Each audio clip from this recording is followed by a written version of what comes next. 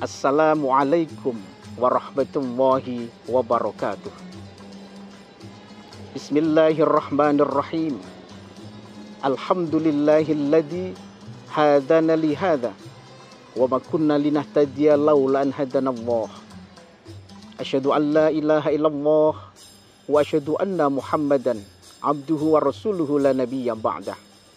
Allahumma salli wa sallim wa barik ala sayyidina Muhammadin wa ala alihi wa sahbihi wa baraka wa salam. Amma ba'du. Saudara-saudara yang dirahmati Allah Subhanahu wa taala. Segala puji hanyalah milik Allah. Allah adalah Maharaja. Allah yang merajai langit. Allah yang merajai bumi segalanya berada di genggaman Allah Subhanahu wa taala. Tabarakalladzi biyadihil mulk wa huwa ala kulli syai'in qadir.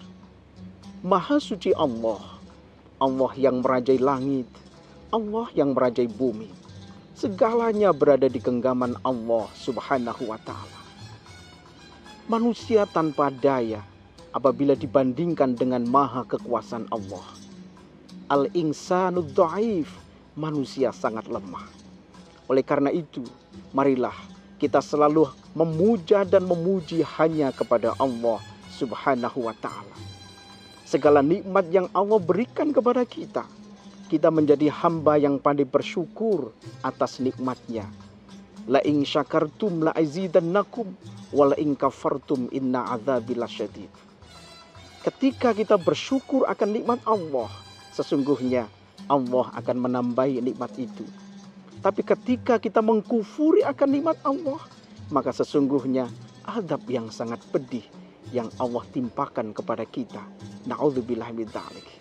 Marilah saudara, kita orang kita menjadi hamba yang pandai bersyukur kepada Allah Subhanahu wa taala.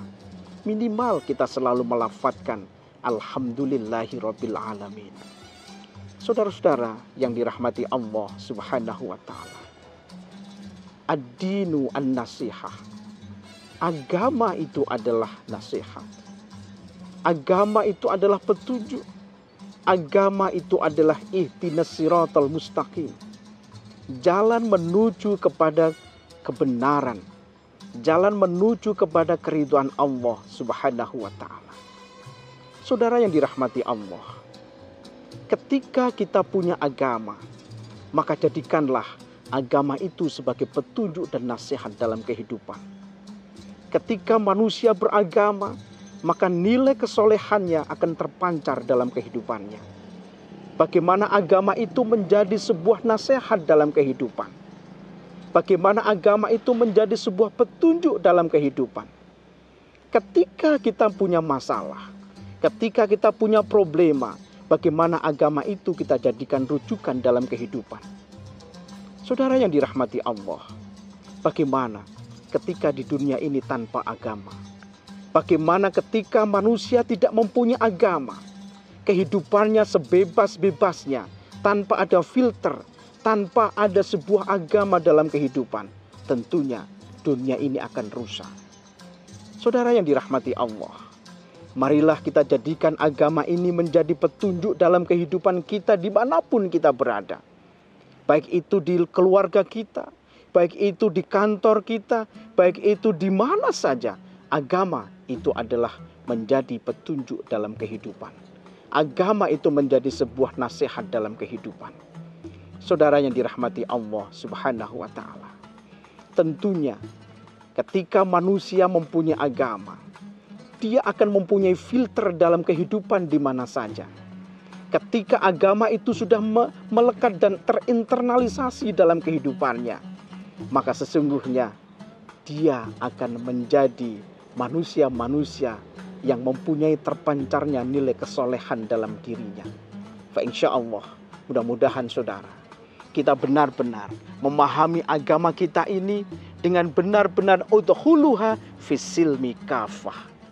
Kita memahami seluruhnya, kita memahami semuanya jangan separuh, jangan sepenggal, tapi adalah kafah. Untuk apa?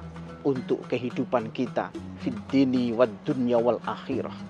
Dan kita selalu berdoa agar apa? Agama kita menuntun Rabbana atina fid dunya hasanah wa fil akhirati hasanah wa qina adzabannar.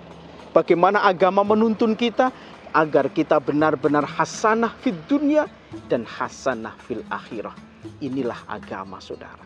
Mudah-mudahan Allah Subhanahu wa taala senantiasa menunjukkan jalan yang lurus kepada kita.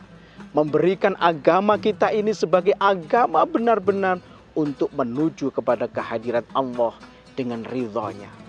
Inilah saudara yang saya sampaikan.